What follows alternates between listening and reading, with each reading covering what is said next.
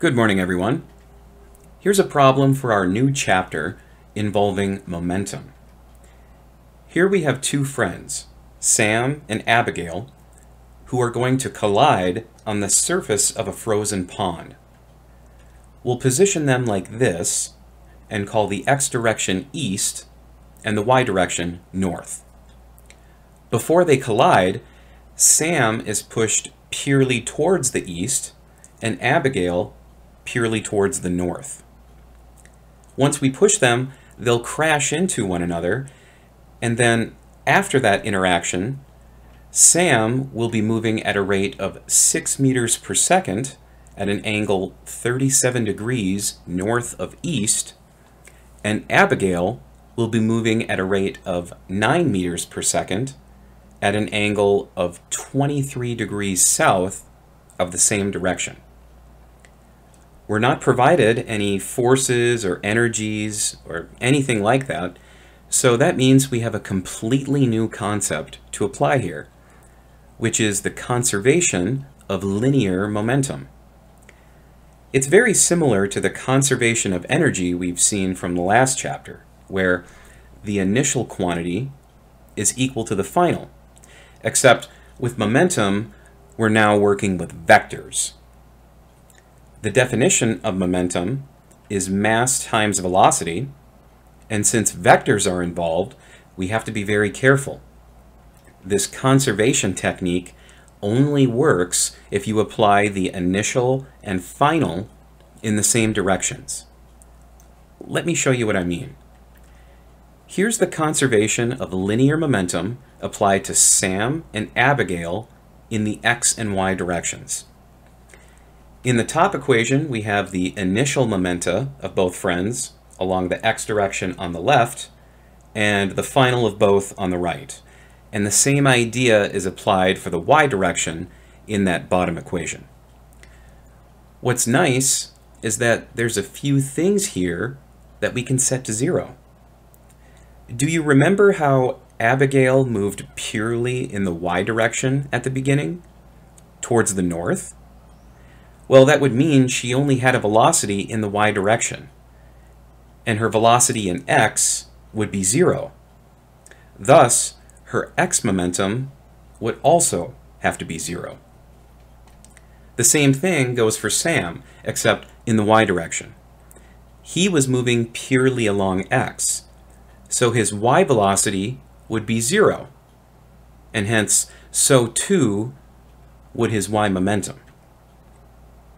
With those terms removed, let's get a fresh perspective on our equations. Here we can see that we'll use the sum of the final momenta in each direction to figure out the initial speed of each person. Let's start with Sam in the x direction. We want to isolate the velocity variable found on the left here, so let's divide both sides by Sam's mass.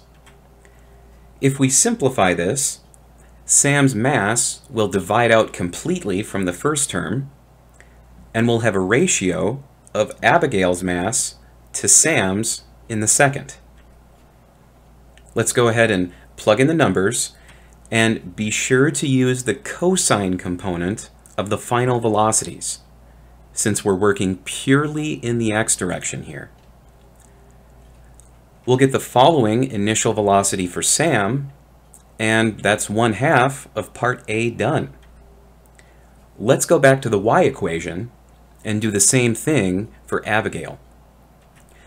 We'll isolate her initial velocity on the left by dividing both sides by her mass, and this time we'll have a ratio of Sam's mass to hers in the first term, and the second term will divide out her mass completely.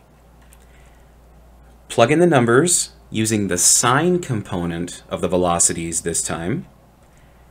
And when you do that, you'll arrive at the following. Now we know both initial velocities, and part A is done. In part B, we'll figure out how much the total kinetic energy decreased during that collision by calculating the change in the kinetic energy. I'll take the sum of Sam and Abigail's final kinetic energies and subtract their initial ones.